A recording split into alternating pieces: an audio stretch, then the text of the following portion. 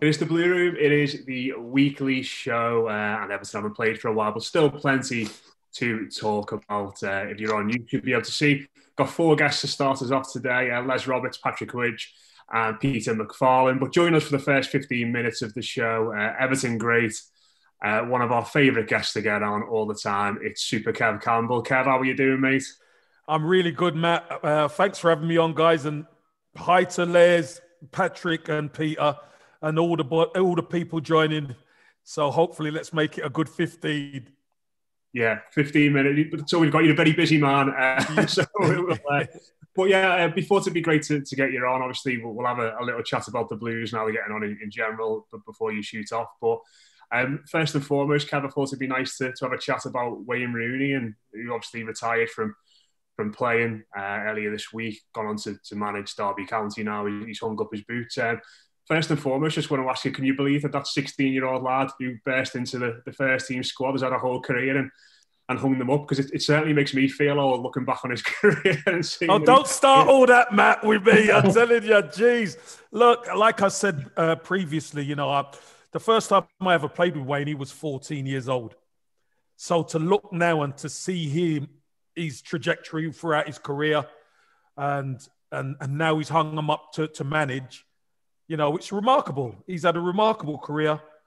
He's been uh, a fantastic footballer for England. And you know he's he's broken records. He's done all the bits and pieces, and he's still a blue, which which which I love.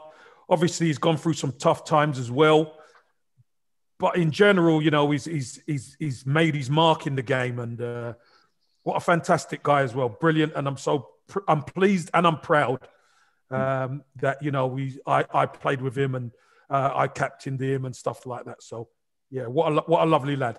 Yeah, and before we, we throw to the other lads, because I know they've got some questions for you uh, about this as well.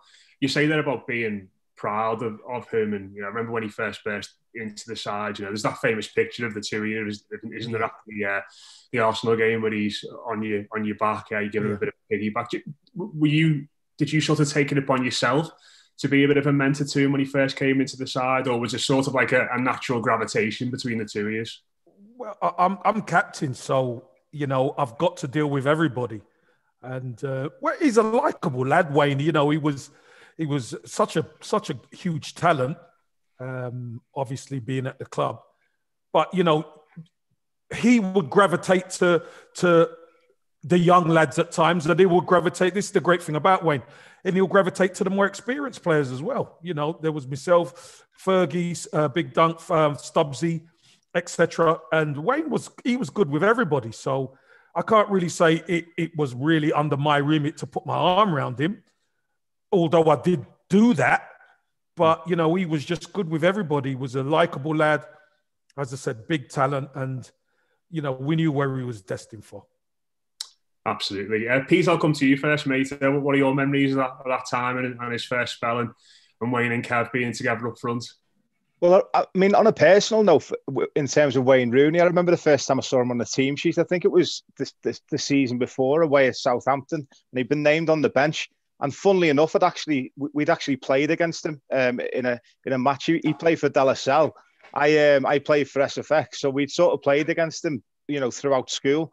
Um, so I, I, was aware of Wayne Rooney before he actually broke into the Everton side. We, you know, you, you were aware of his name in in like that sort of level of, of, of you know being in the schools and stuff. You'd always heard about play, players who played for Everton, played for Liverpool, but Wayne Rooney was always one that really stuck out. So I remember the first time I saw him warming up for Everton, I thought, wow, this is incredible. It was the first time I'd seen anyone who I'd personally, you know, played against or, or played played sort of on the same pitch as who actually then took that step up um, but he was an incredible player and incredible talent, and he and he, he certainly did burst onto the scene. Everyone always thinks that you know they refer to the Arsenal game as the game that really sort of um, that, that, that put him on the big stage. But he'd, he'd scored in the cup a, a few uh, you know a few weeks earlier as well, hadn't he? He'd scored twice in the cup, I think against Wrexham. So it was um, incredible, incredible talent. Um, and yet it was it was a very exciting time to be an Evertonian. Yeah, Kev, was that you know you mentioned there about how you know, his name was sort of ringing out on Merseyside before he, he played for Everton and being in the first team. Was that was that something that people talked about within the club? You know, were you you seeing any lads sort of saying in training, you know, there's a young lad in the reserves here that's that's making strides, is going to be no, playing. No, he didn't. Oh. This is the great thing, and this is the crazy thing. Um, no, there was no real talk about. Remember, because Wayne was a schoolboy. Don't forget. So there was no reserve games or anything like that. Who we were, you know, because the name, but we were we heard because we speak to uh, uh, some of the staff that there's a young lad coming through who's good. His name's Wayne Rooney. Great, okay, fine. So when I ended up playing with him at Southport, and Taffy said to me, "This is Wayne Rooney," and I'm looking at this kid, and I'm thinking, the kid's too big for him. You know, it's it's like, what? but wow, left an impression on me, and that was two years pr- prior. I went back into the dressing room and I told the lads, listen, there's this kid Rooney coming up. He should be with us now. Get, get out, Cam. Get what you're talking about. you know, as soon as he finished school, he came in and one training session, the lads were like, incredible, brilliant talent. Jaws on the floor. Yeah, jaws on the floor. uh, Les, go on. Sorry, maybe you're going to make a point there. I was going to say that Puma kit seems to be massive on everyone. That one with the big white. Oh yeah, oh yeah. You could fly in that. Couldn't you? you could fly in that. Yeah. I was going to say actually, I was me and my dad were down at Wrexham when you and uh, Wayne scored in that cup game. Yeah. And obviously, his sort of breakthrough game, as as Pete said, was that like that Arsenal one with the famous winning goal.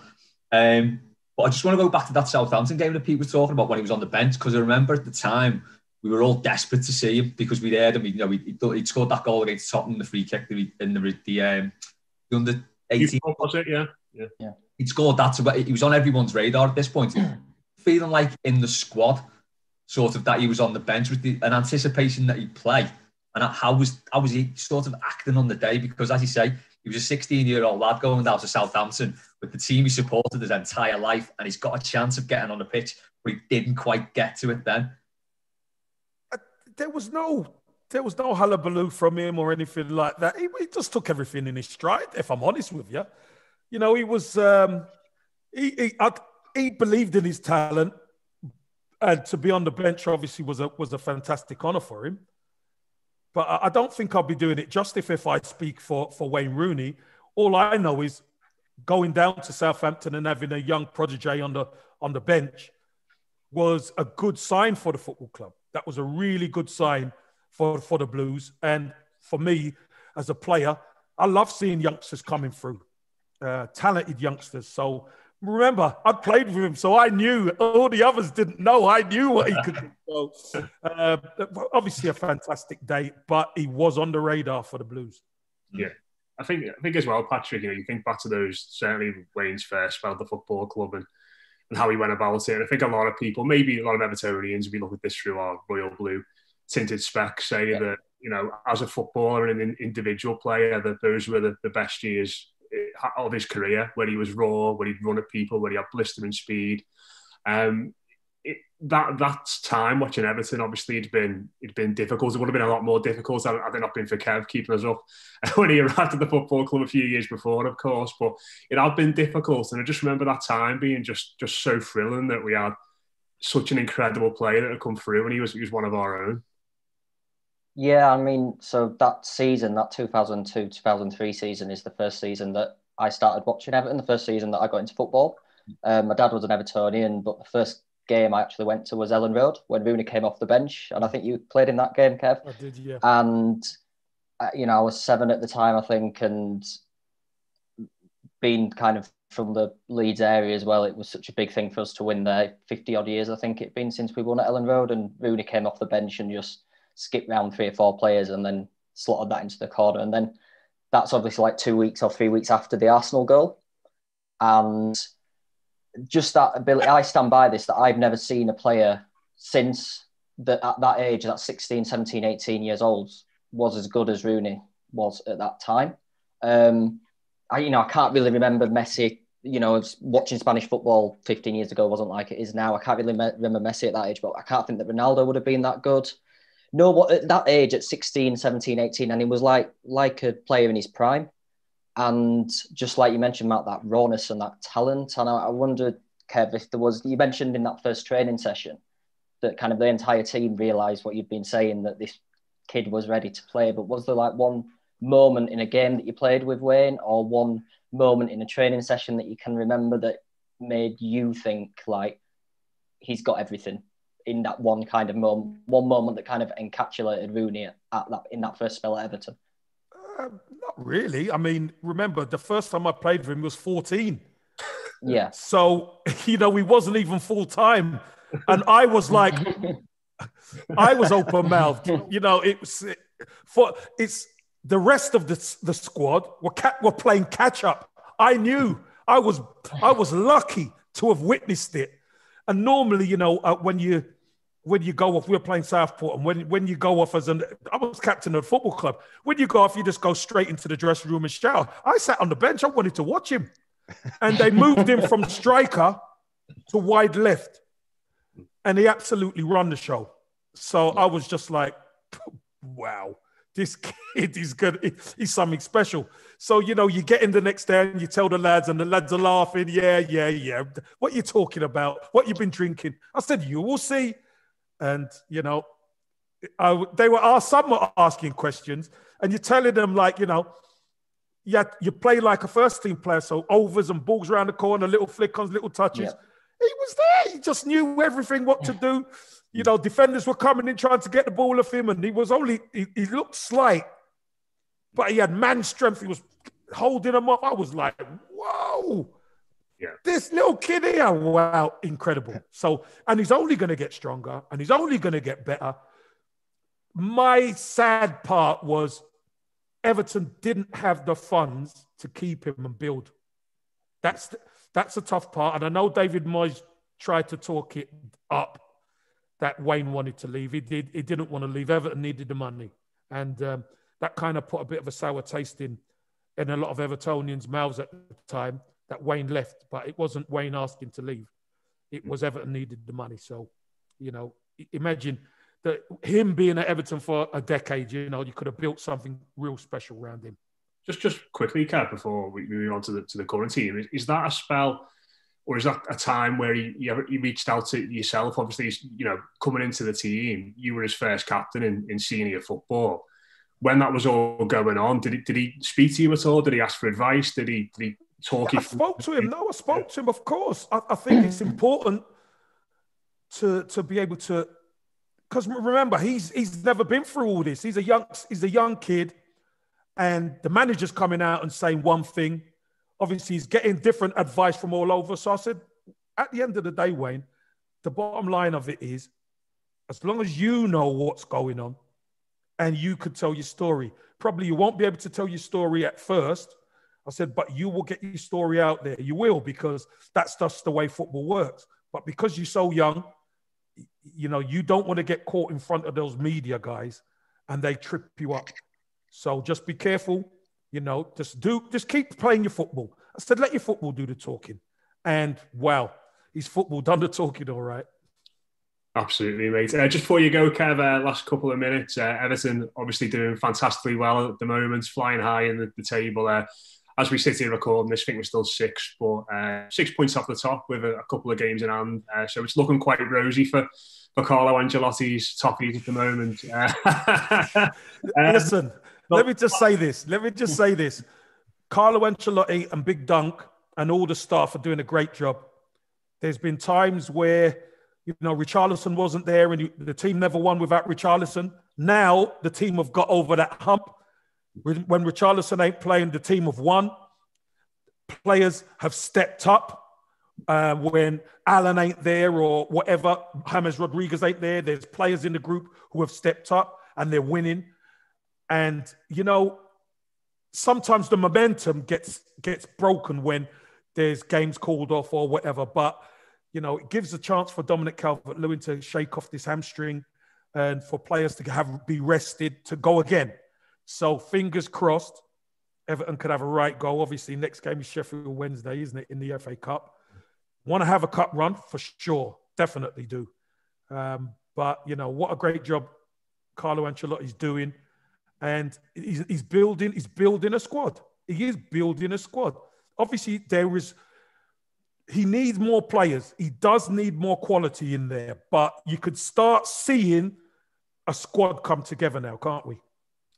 Yeah, it's exciting, mate. Absolutely. Uh, I won't ask you for a prediction of where we're going to finish or anything like that. Uh, like you said, it's probably best we go under the radar for, for the time. Yeah, I'd, I'd, rather listen. When we get to March, I come back on. Absolutely. I'll just have absolutely. You heard it here. And when it comes to March, listen, I could shout from there. Oh, Kev will be five points clear by then, mate. So it won't even be that exciting. I don't say that. Posting to it, but uh, yeah, always appreciate your time, mate, and your thoughts. Thanks very much for coming on, and uh, like you said, we'll speak to you again in March. No problem. Take care, guys. Cheers. See you later. See, you. you. Bye. Bye. Bye. Uh, Bye. Kevin Campbell, uh, Everton. Great. Uh, yeah, wonderful stuff. Uh, I, don't, I don't know about you lads. I sort of hinted at it there with, with Kev, but really retiring did make me feel very old. I think he's the first player ever breaking through really as a teenager, was of the same sort of age, a little bit older than me, but it's you know he's had a whole career and in them up, it's a bit like. God, the for me is nothing. Nothing will make me feel any older than the Everton manager being younger than me, which was the case when Bill was in charge. So I've I've crossed that route. there we go. I mean, just just just just on his obviously, Kev spoke about the the early days there and, and coming through and, and, the excitement. And, you know, obviously a lot of his career was, was spent away from Everton. I think it's probably fair to say he's an England legend, the Man United legend, but but not an Everton one. Um, I'll just sort of look back at his at his time and, and his links with Everton, Pete, because it's been it's been a bit of a, a troubled time, hasn't it? Especially when he left in those early days, as as we spoke about there. But gradually he's rebuilt those links. Uh, the second spell wasn't quite what we all hoped and, and dreamed it would be. But Wayne Rooney and Everton feel like they're on good terms going forward, at least. Yeah, I think he, he started building bridges a couple of seasons before he came back. Um, I think there was a lot of bad blood, a, lot, a, a bit of taste, bit of taste left in, in our mouths after he, he celebrated in front of the park and when he scored his first goal against us. Um, but he did start sort of trying to build bridges. He was posting a lot of photos, you know, of his kids wearing wearing uh, Everton shirts and um, you know, he, he played in, in Big Dunk's testimonial as well. So there was, he, would he'd sort of started putting in place um, the, the potential of him coming back. Um, I think he'll, he'll be, he'll, he can, he can be put there on the pedestal of, of what is possible for, for our academy. And that's the best way I can put the, the, the biggest positive I can think um, is that, you know, if you're a, if you're a young player, a, a young up and coming player, um, what better attraction to get bring them to our academy than to say we made Wayne Rooney. Do you know what I mean? Um, I, I, think I think he, you know the records his records speak for themselves. His record with England, his record with Manchester United. Um, you know he's the all-time leading scorer for, for England and Man, Man United, and he was made in Everton. So um, if we can if we can make a player even half as good as him in the in the coming years, then then uh, you know we'll be very lucky. Um, but yeah, I think there's a, there's always going to be a, a, a, massive element of of regret, um, and also a massive, you know, what if if he could have stayed, if he would have stayed, would he have would he have taken us to the next level? Um, you know, it's one of those things. I'm, I, it, it's it's a it's a huge shame that we never got to see him in Ever, you know, at Everton for a, for a, a huge chunk of his career, but you know, we enjoyed it when he was there. Yeah, I think when you look back, uh, Patrick as well, 30 million or was it 27 million plus add-ons for, for Man United was yeah. a bit of a snip, wasn't it really? yeah, I mean, I mean, you imagine what that'd be now, you know, for a Premier League. You just kind of think it's totally different. It's almost like a different game in, in terms of the financial side of it. It's like totally alien that a player of that much quality would go for something like 27 million. Uh, not even is that half a Gylfi Sigurdsson, maybe? you know, like it's it's and I don't, you know, I don't mind Gylfi, but you know, it's just you'd be looking at if a player like that now came through at a Premier League club, you're looking at 100, 150 million, that kind of quality. Because he was that good. I stand by it. Like that Euro 2004 tournament, he was just on a different level to every other player at that tournament. And there was some unbelievable players across that across that kind of um, competition. And I mean, that England team, he got injured, didn't he, again against Portugal in the quarter final? He got injured in that one and sent off in the 2006 one, didn't he? And um, I mean, I, I think, yeah, England would have got to the final in that if Rooney hadn't got injured in that game because he was so instrumental. And he is, he's that kind of, he was that Mbappe level, but I think level above. And Yeah, like like um like Pete mentioned, there's always going to be that um regret kind of, and I think I think we noticed it as well in kind of the reaction to him retiring in a way. It was kind of very below par, maybe because he's gone straight into management and he's kind of been doing that role for the last few months anyway. But he was so good for so long, and maybe he won't get the recognition he deserves, even though he has got all these, you know, uh, um, records of England's top goal scorer, Man United's top goal scorer. He maybe won't get the recognition he deserves because at Man United, it almost felt like he was never quite the key player. Um, and then when it came to England in his later years, with it was always that he was going into a tournament, he'd always be injured, or he'd not been playing well in the few months before that, and everything was on his shoulders.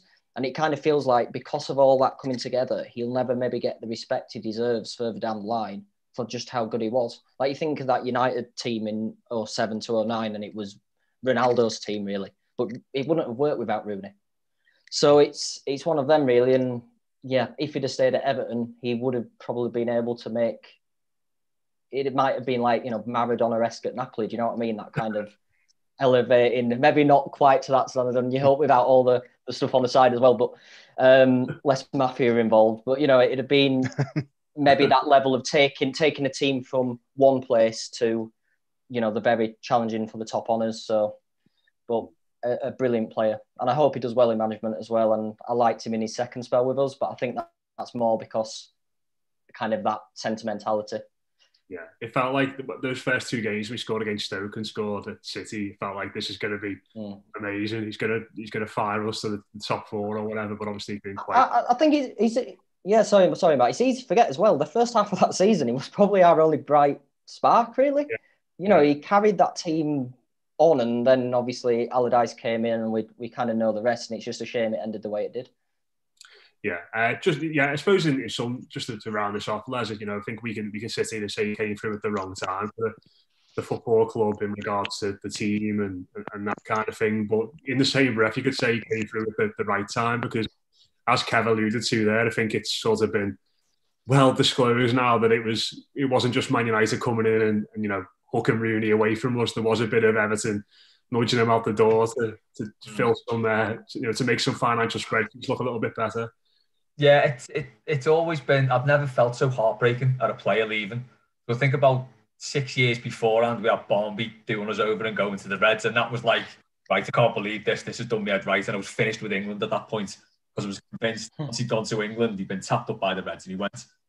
Rooney came along, and as you say, part in that, that 2004 tournament, he was absolutely electric and sort of England were back on my radar again. And I was like, all right, okay, so I can get on board with this again. And then he went to Man United, so completely fell out with England. Yeah.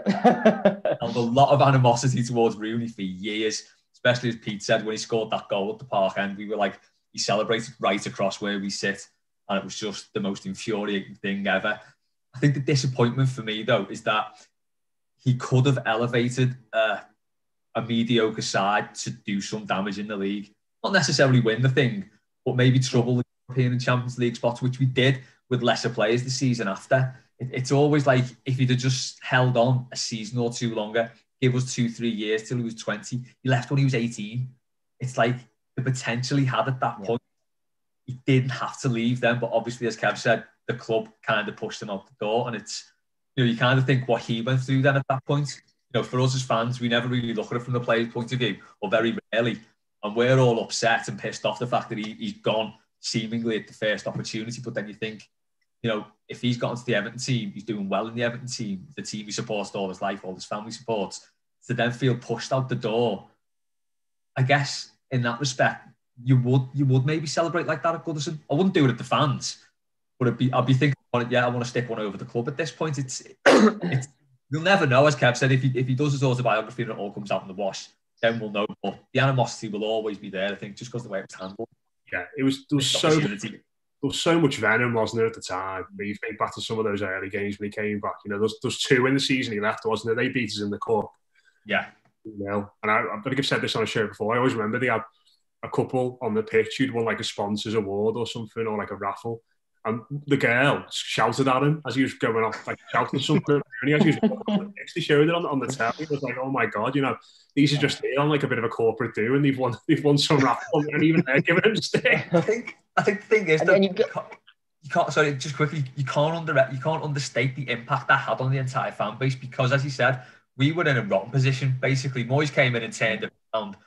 This was like a real hope that like a player of ours has come through. He's potentially going to be the best in the world, and he's our player, and he supports Everton, and he was like every one of us on the pitch, like kind of cliche. So when he left, it made it even worse. The fact he went to United and became their sort of pet scouser annoyed me as well because they never ever really truly talked to him, and I'm, I'm convinced it's because he's a scouser, and there's the whole Manchester Liverpool thing, and it just the whole thing just left a really bad taste. Sorry, backward. No, no, it, I was just kind of one of the memories I've got from when Rooney left. I mean, I was devastated because like that, that England, that 2004 tournament, I kind of got into football in the 2002 World Cup, and then that, that 2004 Euros was like the first tournament I just watched religiously all the way through, and I had like my Rooney England shirt, you know, and so it was like that was like you Les, uh, said, Les. It was like that's our player doing these things on the world stage and being the best player at that tournament, the best player in Europe in that particular few weeks, and just tearing it up. And then I vividly remember when Rooney got sold, they were interviewing fans outside the ground, and I just got this this guy, probably you know like in his twenties or thirties, because Rooney had said once a blue, always a blue anti, and he basically just disowned Rooney on Sky News or Sky Sports News or BBC, whatever it was, and kind of the venom then. And then when he came back that 2005 2006 season, he scored that goal that he celebrated. I just think like like you mentioned with the fan on the pitch and the corporate, um, you know, the corporate dude, Matt, like giving him abuse. The lad was 19 or 20 at that age. And it's like, we do forget that. I know he kind of left and it's, it was awful for us, but how is a 20 year old lad going to feel that he, this is his fan base and his club and he's gone back and it's just 40,000 people screaming at him? If you score, I can't really, I, you know, I think we'd all in that situation, and especially with the fans not knowing everything, so you're the bad guy, we'd all in that situation kind of take out your aggression in some way, wouldn't you? And, and I've seen some tweets and things still like kind of from people still can't get over that thing that happened 15 years ago when he was 20 and it's like you just kind of move on. And I think that when it came, like you said, Peter, when he kind of started planting the seeds about coming back, people kind of got over it by then. But there were some people that definitely never did and could never take to him even when he came back. And you know, I suppose, like you said, Les will just always be there. Yeah, uh, Peter, did want to ask you actually when you played against him, were you thinking, "I'm better than this lad. I could play for Everton." Oh yeah, no. was, I say there's, there's certain players that you play against when you're a kid, and you know you, you know when you're in the changing room before a match, you might say who's you know who's the best player on their team. You'll know the lads who play for Liverpool or play for Everton or you know Preston at the time that they had a decent youth team as well. Um, but again, he, he stood out. There was a lad, there was a lad who played for Bluecoat called Anthony Barry. He was at Everton in the same team as him. I went to primary school with him, and um, and he'd always said about how how amazing you know Wayne Rooney was. Um, he was a name that everyone sort of knew about. Everyone, everyone knew how great he was, and I think he scored. Uh, he definitely scored two. He might have scored four against us in the, in the last time we, you know, the last time we played against them. He was, um, he was, he was a special, special talent.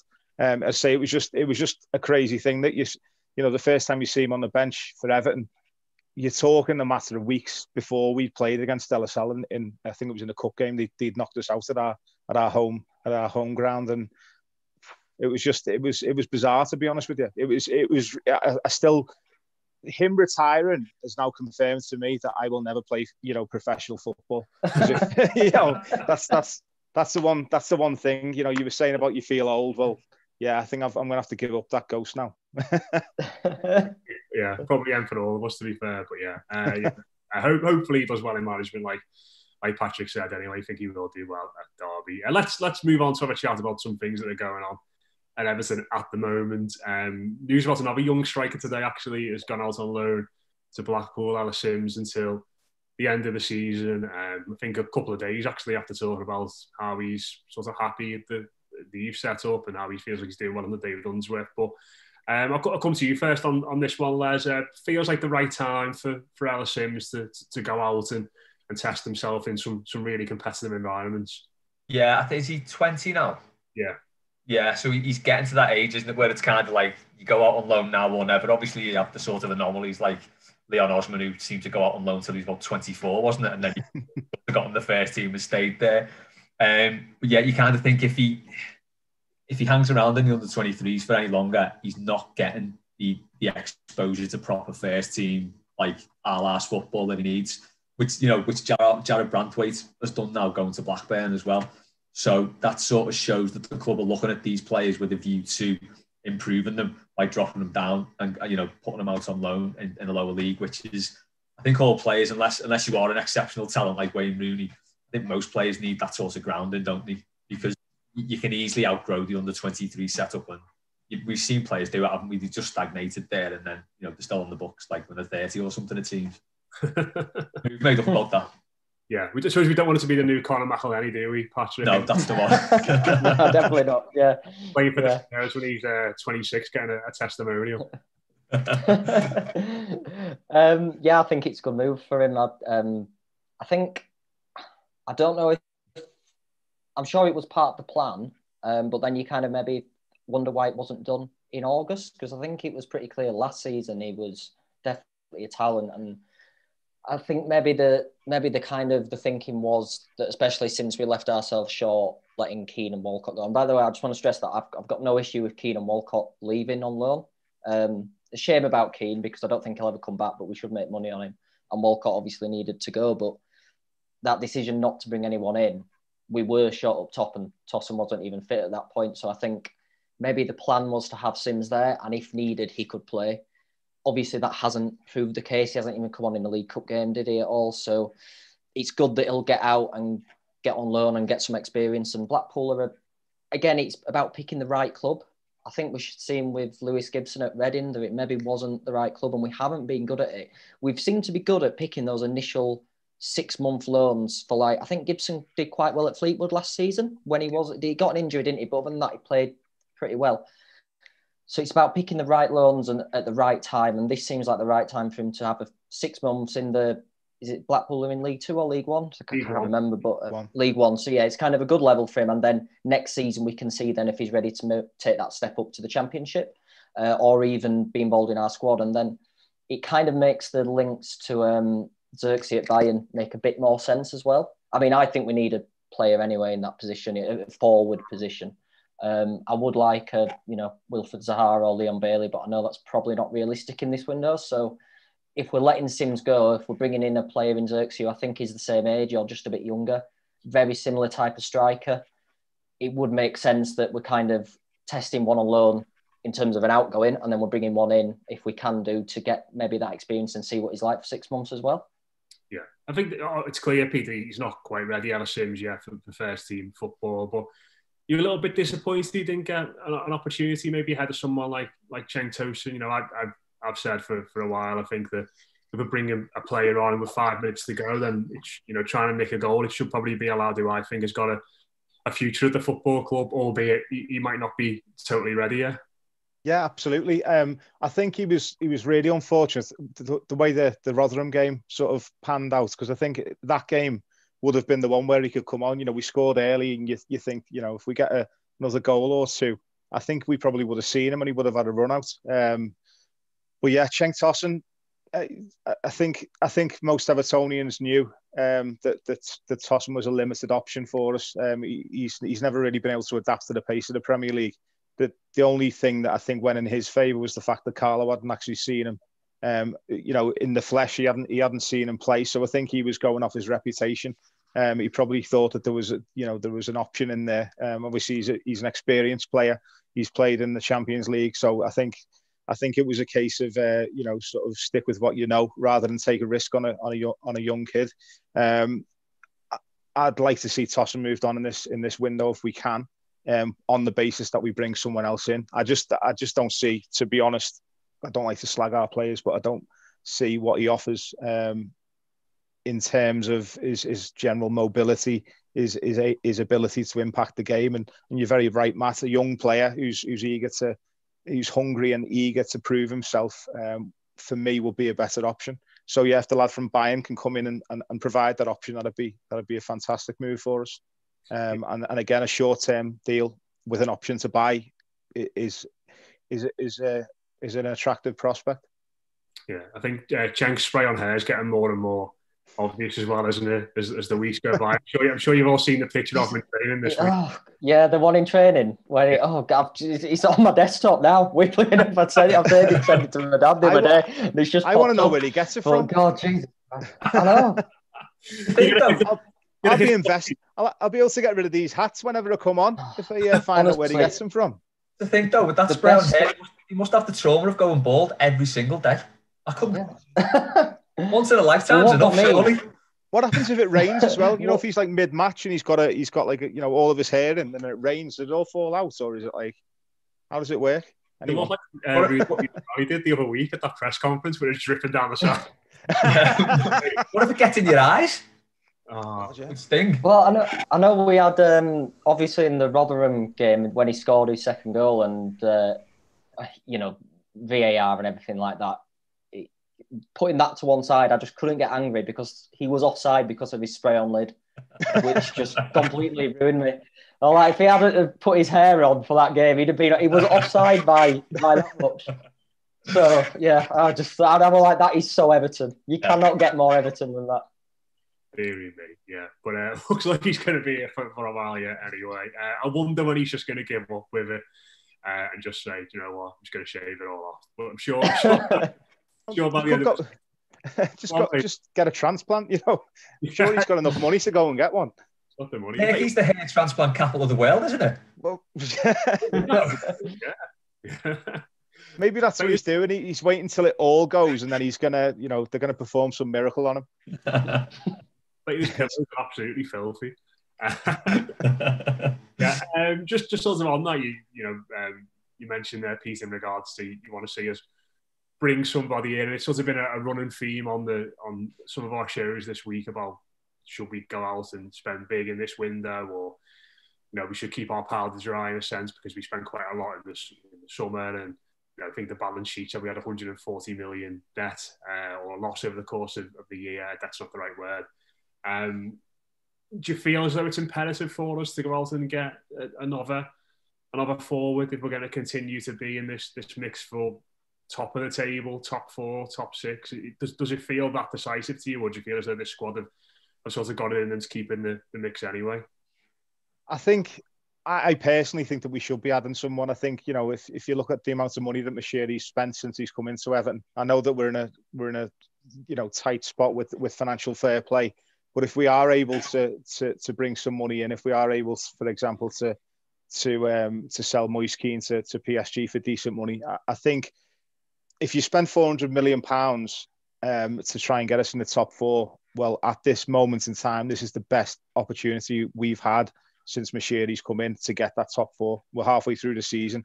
I think if he if he wants to invest, if this is the time, if he was ever going to take a gamble, I think this is the time. Um, I think if you were going to go the other way and try and pick someone up, uh, you know, on the cheap, Josh King did for me look like a decent option only because of the fact that the Dominic Calvert-Lewin would be our first choice. I think King could come in and do a decent job, certainly against some of some of the more physical sides. I think I think Josh King could have could have done a decent job at a decent price. However, it sounds like he's he's pricing himself out with his wages. Um, it's it's a it is a balancing act because what you don't want to do is go out and, and give someone a, a big contract and then be stuck with them, which is unfortunately why we're in the position we're in at the moment, where we've got a lot of players on big money um, who are who are bleeding the club dry in terms of financial fair play. So I think it's imperative that we we try and get rid of some of these players, um, and hopefully, if we can add one or two players into that squad, I think we can really push for that top four. Yeah, I think, as you, you mentioned on Twitter earlier in the week that this is a, a great opportunity and you want to see us sort of go go for it. And, you know, I'm, I'm very much of, of that, that that mindset most of the time. I think, it, but, but I think just to go back to what you said there, it does feel imperative that we get someone out the door on big money first. And, you know, the obvious one is Moise Keane, who's been linked with, with PSG and, you know, 30 odd million and that kind of thing. But apart from that, maybe Bernard for 10 million if we can get get in. You know, there's been reports about him going to, to Dubai having the, the last the last mm. couple of days, but it feels as though before we can do anything and find that player, as hard as it is to find, that, that someone who's on big wages and command a decent fee goes out the door. Yeah, and there's not really many saleable assets, as you say. Bernard, you know, he, even if we only got 10 million for him, which isn't isn't a lot at all, it's clear profit, isn't it? Because we got him for nothing and it gets a massive wage off the wage bill. Um, obviously, Keane is our most saleable option. And I think at this moment in time, as you said, if we can get the money for him now and reinvest it straight away, I think that would be the ideal situation for us because I can't see him. I think Pat said before, I can't see him coming back ever. And I don't even think he's got the inclination to come back. I, I don't think he, I'm not convinced he ever wanted to be at Everton. Um, the whole transfer was just completely, completely mad to me. Just on the January thing, I think it'll be really frustrating if we don't strengthen the team now, given the fact that we did in the January that Allardyce was in charge. So it was like Moshiri really panicked then, and you could see because he appointed Allardyce, but he really panicked that we could go down and everything he's done will be like a hundred times harder, you know, to, to get us back into the league and then challenge it again.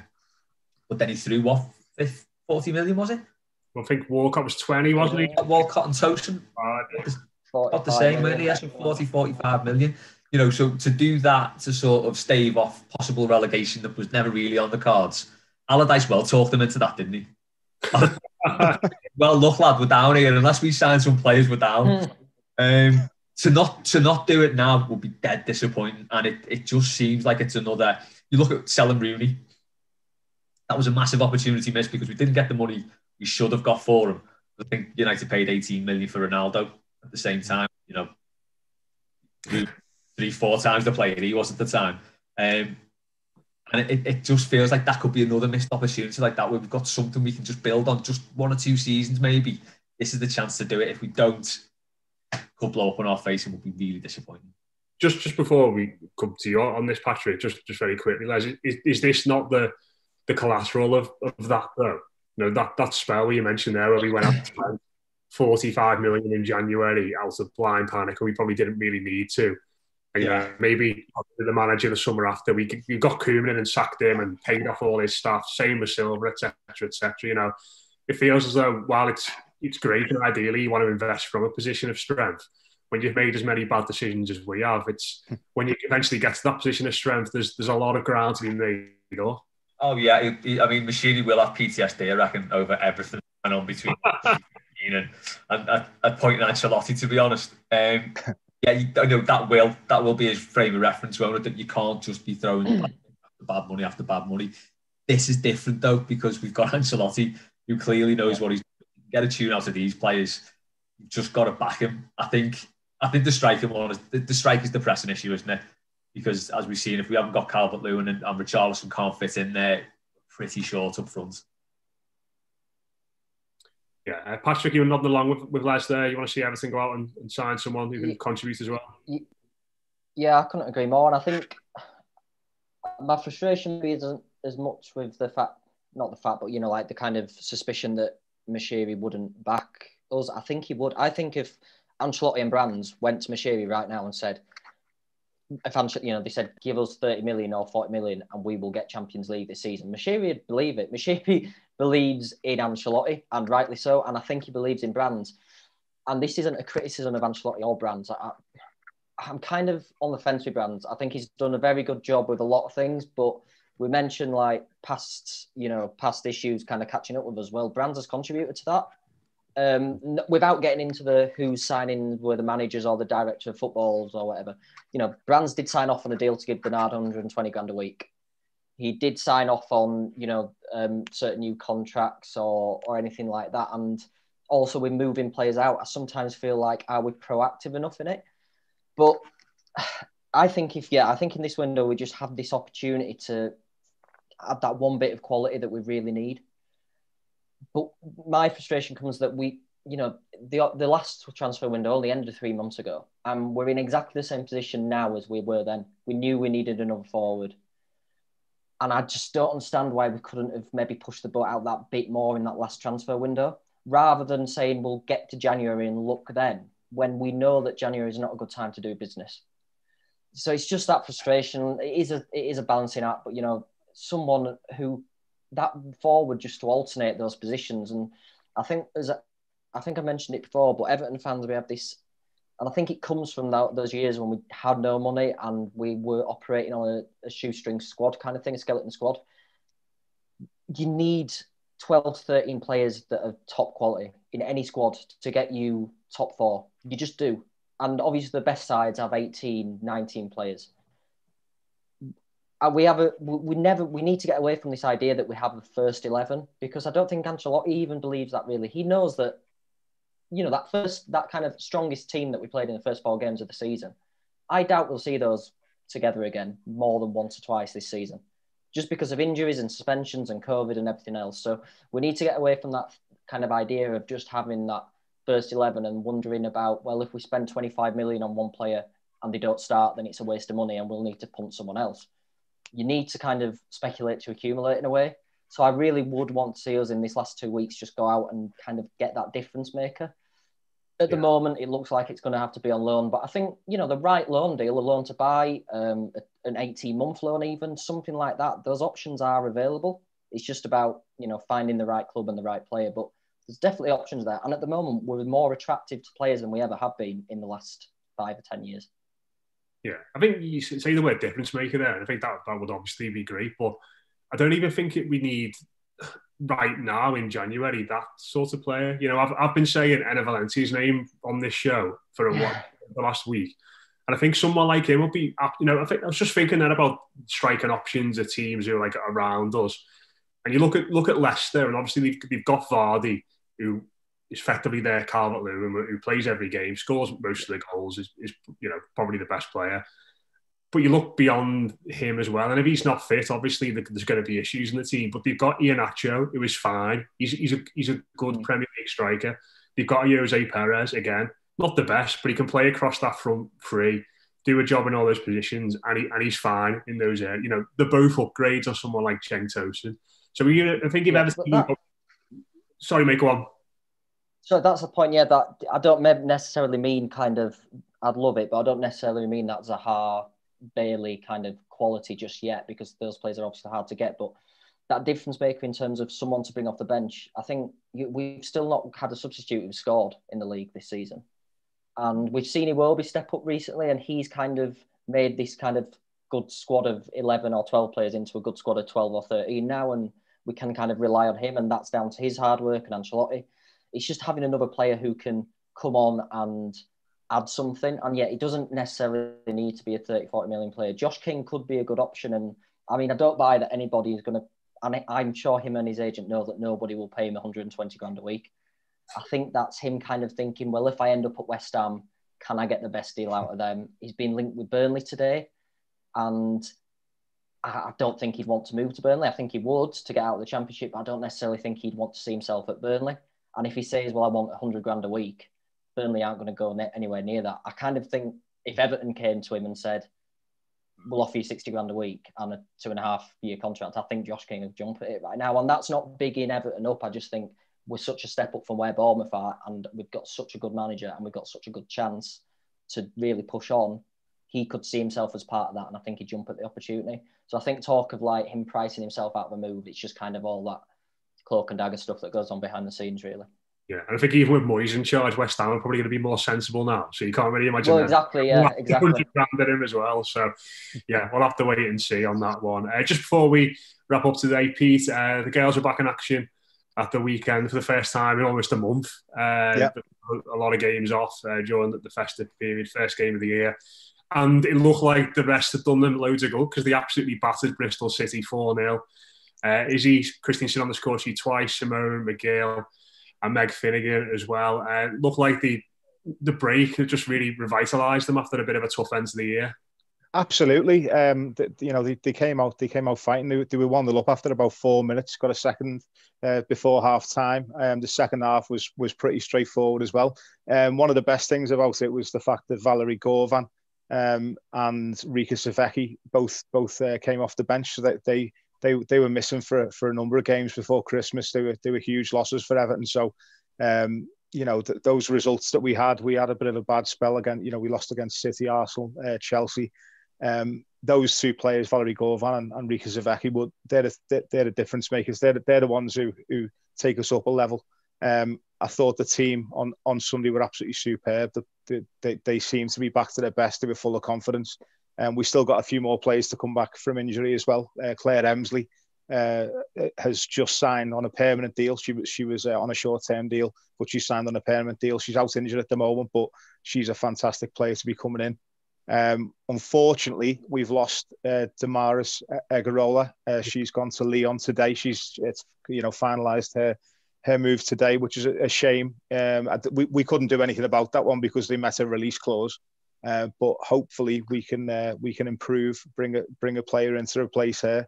I've heard I've heard a few names mentioned, and if it, if it is one of those names, then I think I think we can all be very happy with that.